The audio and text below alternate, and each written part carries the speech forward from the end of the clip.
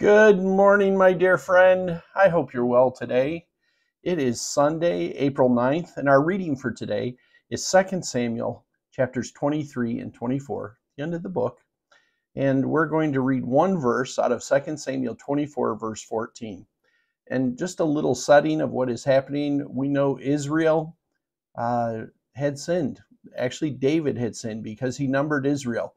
And the Lord was upset with that and the Lord basically gave David a choice of how, how do you want to receive judgment with this? And this is David's response. Then David said to Gad, I am in great distress.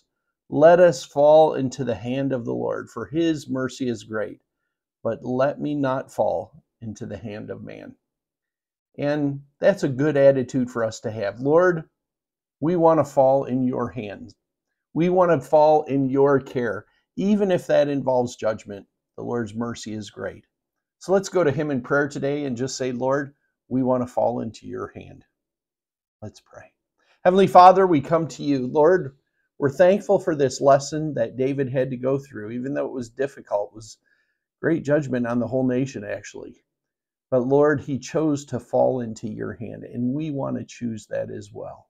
We want to fall into your hand because you're merciful. We thank you and praise you in Jesus' name. Amen.